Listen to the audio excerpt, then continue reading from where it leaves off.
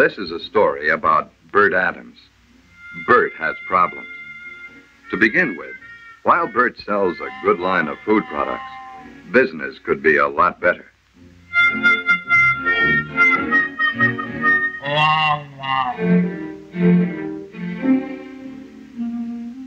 Things could be a lot better on the home front, too. Here's Betty, Bert's ever loving, patient wife. And here's Jimmy, Bert's not so patient son. He didn't do anything, really. But Bert has to be mad at somebody. Well, that's natural. The job goes sour, and pretty soon you're the square in the family circle. No. Maybe now I can get something done. Let's see, where was I? Ah, 52, 47 divided by 18, twice Ah, that's plain enough. What a record. Doggone it, Betty. Something's wrong, and I just can't figure it out. What do you mean, dear? Well, my sales. I've been checking my points in the contest. Looks like I won't do any better in this one than I did in any of the others. Oh, no. Not another pen and pencil set. Uh huh. Another pen and pencil set, if I make that. Anyone we haven't given one of those things to? Well, maybe Uncle George. No, he got one last Christmas.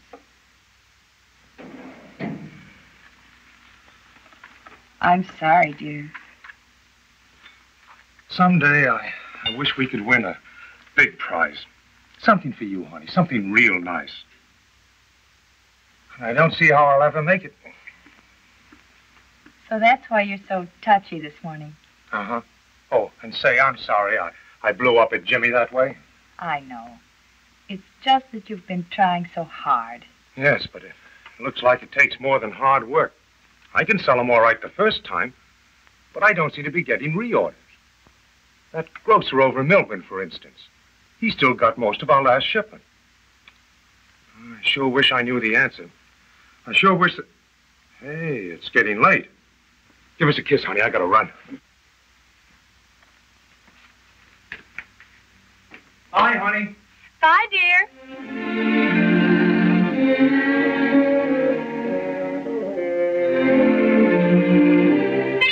Bert.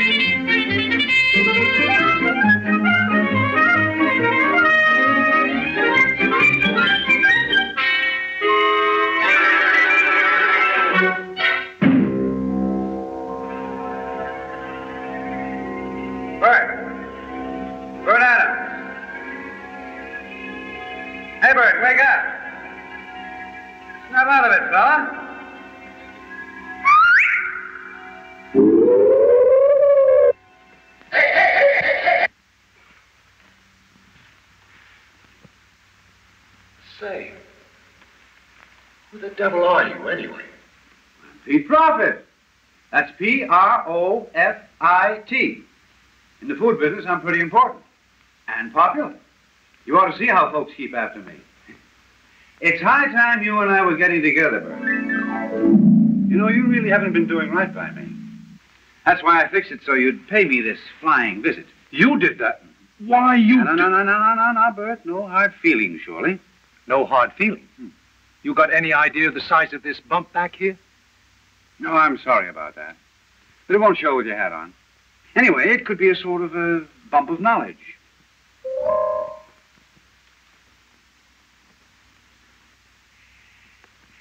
Now down to business. Your sales, uh, a bit thin, aren't they? Well, I wouldn't do. Uh, Not so hot. mm-mm. But uh, how did you know? I've been keeping an eye on you for a long time. You've got possibilities. But it appears to me you need a little help. Yes, sir. Give you an idea so and... Oh, excuse me. Would you, you like a cigarette? Sure.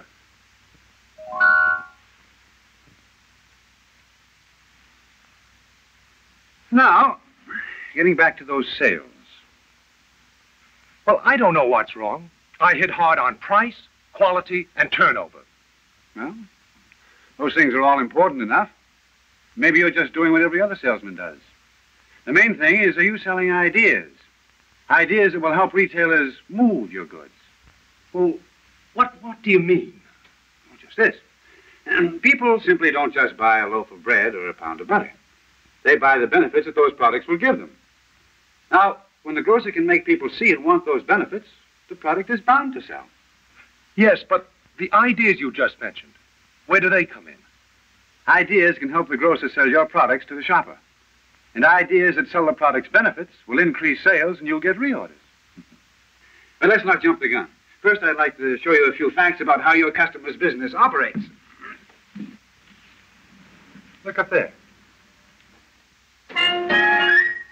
Not too many years ago, nearly all retail food sales were on a strictly service basis, with clerks waiting on each customer. And then came self-service. When shoppers realized the convenience of self-service, as well as its many other advantages, they went for it in a big way. Surrounded by new ideas, they were free to pick and choose, shopping as slowly or as rapidly as they wished. Actually, more than two-thirds of today's food dollars are spent in self-service operations, in big markets and smaller stores as well. Today's modern stores represent big investments, some a million dollars or more. Some stores have nearly a mile of aisleways. Sure, I, I know it's big business, but where do I come in? Right here.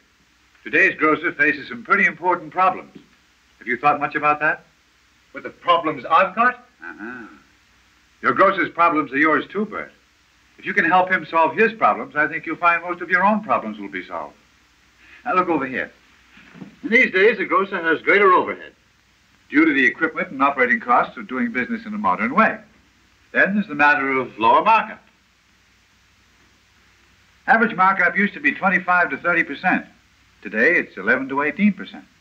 These factors mean less net profit per dollar of sales. Now, the average net profit once was 10 percent. Today, it's 2 percent or less. So the grocer has to do a greater volume of business to make money. Now, all three of these problems are getting tougher all the time. That gives your customer a lot to think about, doesn't it? Yeah. Yeah, it sure does. Uh-huh. And to offset these problems, your customer needs more traffic, faster turnover, extra sales. That's what it takes to move goods out of their stores. And that's their real goal, isn't it? Of course, you can tell me some of the things that move goods, can't you, Bert? Oh, sure. Price, promotions, coupons, uh, premiums, advertising. Packaging, display, customer convenience, a lot of other important things, too. But to be successful, all of them depend on store traffic. Today, more than ever before, food retailers are competing for people. And once these people are in a store, it's important for you as a salesman to know how they shop and why they buy. Self-service has changed shopping habits a lot, you know. Today, up to two-thirds of all self-service food sales are the result of store decisions. Decisions to buy this or that particular product are made right in the market, where brands and foods fight it out in the battle of the budget. You see, Bert, many people enter a store with their general needs in mind, but they're also looking for ideas on what to buy. Nobody sells them, they sell themselves. And the smart merchandiser keeps that in mind. Yeah, now I see what you're driving at. But uh, come again on those store decisions, will you? Here, I'll show you. Let's tune in on her thoughts. Need a vegetable for dinner. Mmm, broccoli looks good today. She knew she wanted some kind of vegetable, but the actual decision on the purchase is taking place in the store. And here's that most important store decision of all the impulse purchase. Something the shopper hadn't the vaguest idea of buying when she walked into the store. My, they look good. Many times, these extra sales make the difference between profit and loss for your retailers. Now, give them good ideas on how to get these extra sales. You won't have to worry about reorders. Impulse sales have become big business, Bert. Well over one-third of all foods bought today are bought on impulse. Completely unplanned, extra purchases that bring in extra income. But see for yourself. Here's what this shopper planned to buy.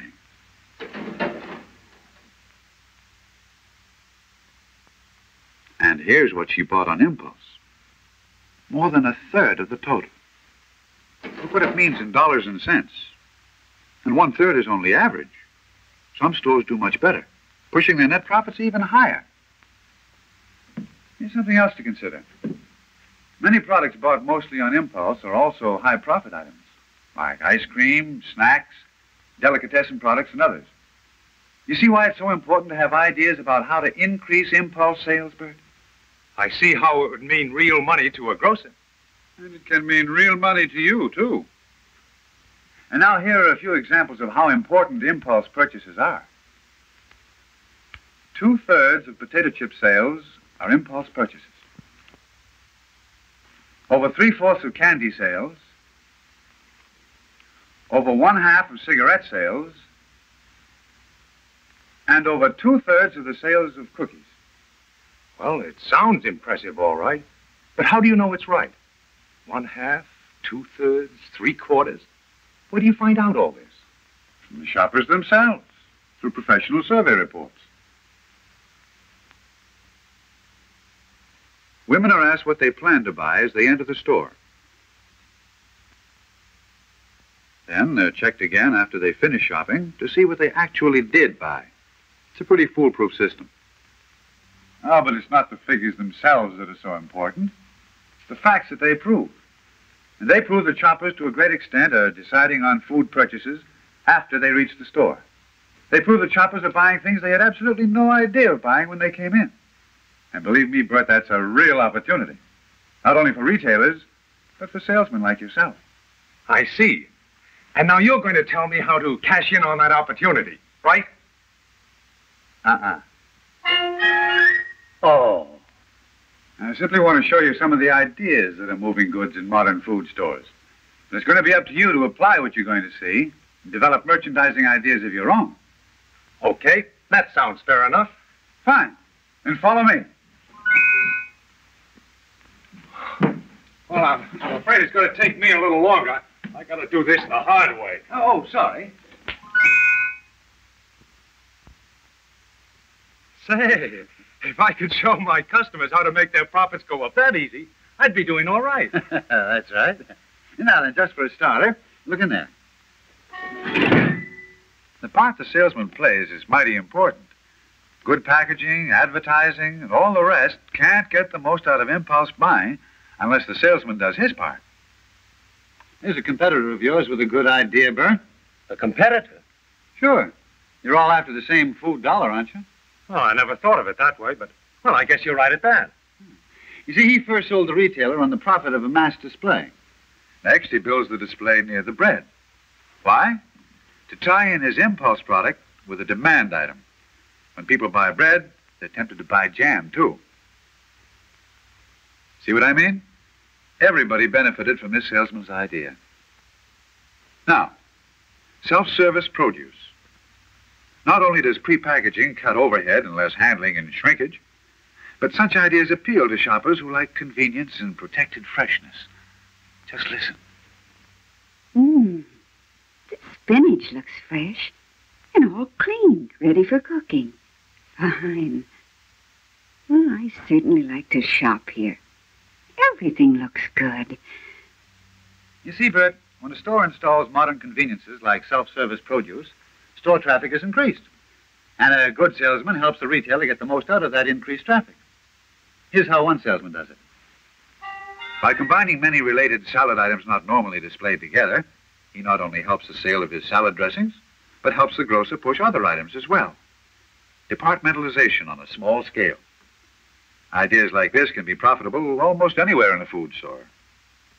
And here's a high profit, high impulse food that's mighty important as a source of extra income for grocers. So plenty of thought is given to ideas that help sell it. Tie-ins appeal to a variety of tastes.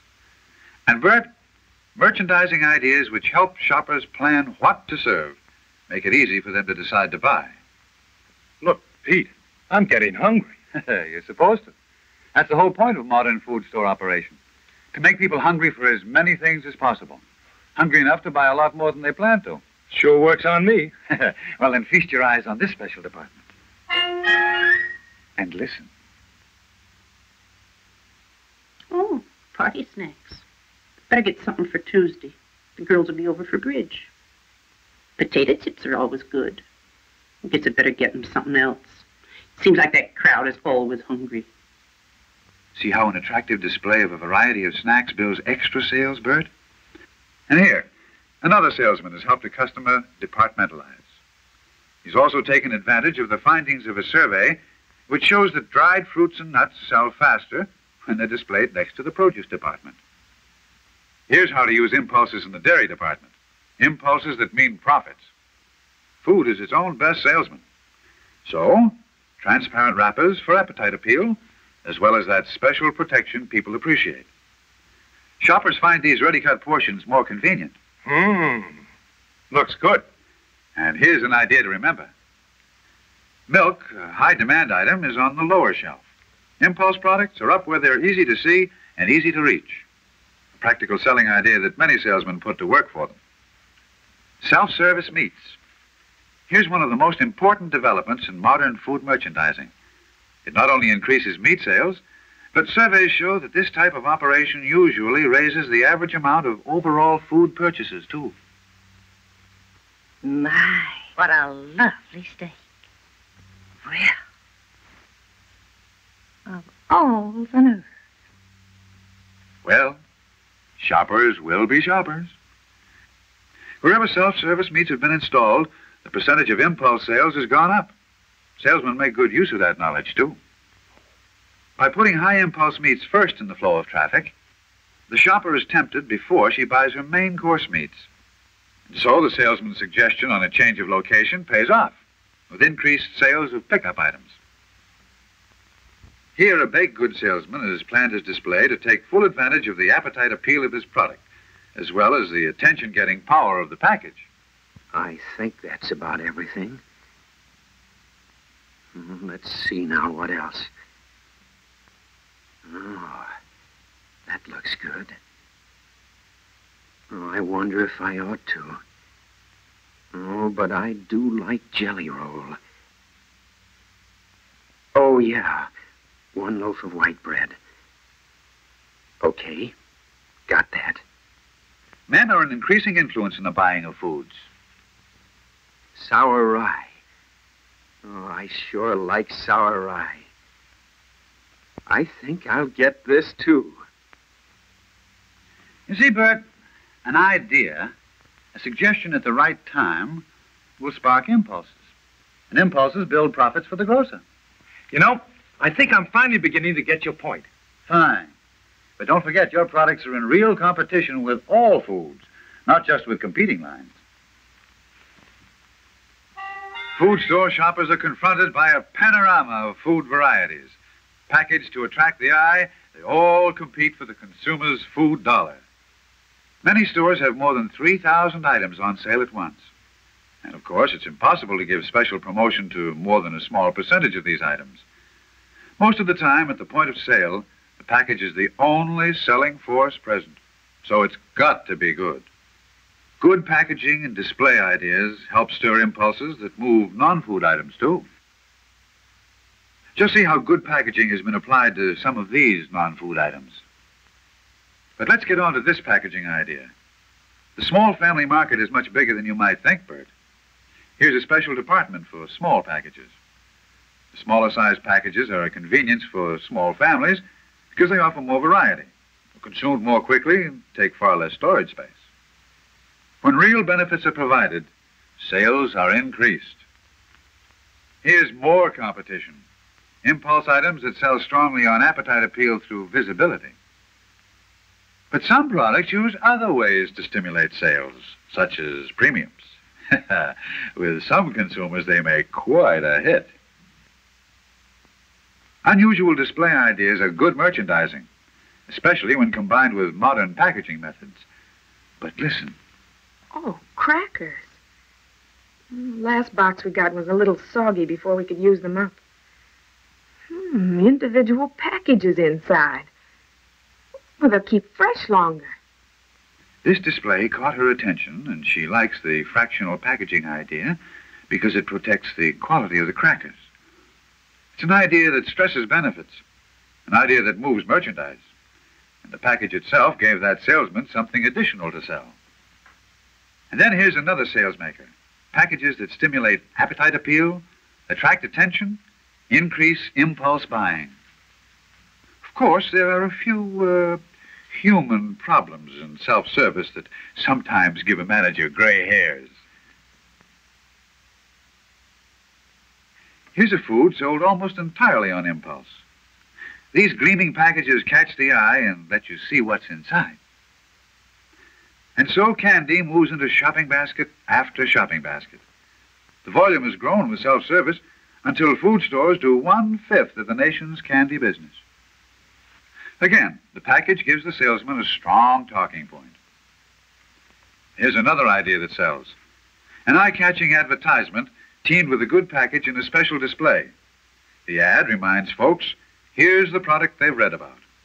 The display makes it easy to see and easy to buy. Say, there doesn't seem to be any end to these food selling ideas. There isn't. With a little thought, you might get a few for your own product. But keep this in mind. In suggesting merchandising ideas, remember that nothing sells food like food itself. Get appetite appeal working on your side. Ha ha, you see? Appetite appeal. A powerful selling force.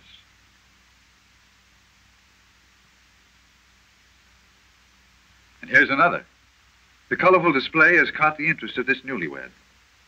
Young homemakers are usually looking for all the help they can get when it comes to meals. Just listen. I need a vegetable. But how do I cook it? Oh, here it tells me. Why, it's easy. It only takes six minutes. See, Bert? Good packaging, tempting pictures, and tips on cooking helped her decide to buy. You can bet the bid for impulse sales goes on right up to the checkout counter.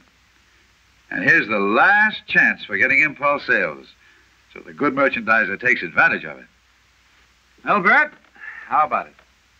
Does this begin to show you some of the possibilities for using merchandising ideas to get reorders? It sure does. You know, I was just thinking. That grocer over in Milburn. If I could get him to let me set up a tie-in display, and I know just the spot to... That's the spirit. It takes ideas to move merchandise. After you get the grocer's order, your goods are only half sold. Only when the consumer buys the product is your sale complete. When you sell ideas that get consumers to buy, that cash in on impulse buying habits, that help your grocer turn impulse to profit through extra sales, greater turnover, and more traffic, then, mister, you're really selling. And knowledge of shopping habits, Bert, can help you get ideas. And can help you sell ideas, not just things. The mark of a real salesman is his ability to sell ideas that move merchandise. It's the salesmen of America who keep the wheels of industry turning. It's the salesmen, Bert, who have contributed the imagination and determination that helped create a standard of living in America that is the envy of the entire world. Gee, that's right. Pete, Huh? I got an idea. Suppose I went...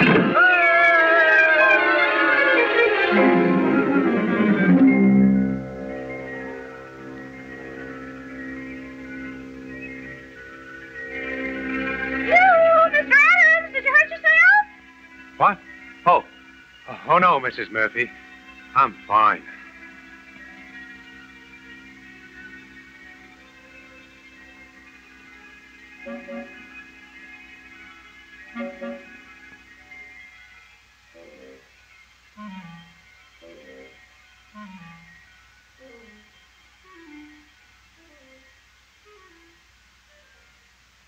In fact, I'm in great shape.